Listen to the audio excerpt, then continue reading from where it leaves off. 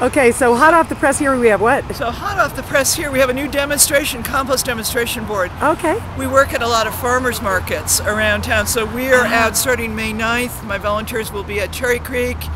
And then starting in June, that's every Saturday, we'll be at Cherry Creek. Okay. And then in June, every uh, Saturday, we will not only be at Cherry Creek, but a new market at Highlands Farmers Market. Okay. 1500 block of Boulder Street in Denver. Okay. Every Sunday, June through October, we will be at the old South Pearl Street Market, 1500 block of South Pearl.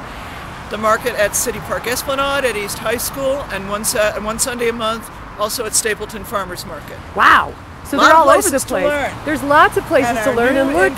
It's all like lined up. I mean, you can learn everything. together with Denver Urban Gardens and Denver Recycles. Mm-hmm. And in order to uh, register for a compost class, you can contact 720-875-6510. Okay.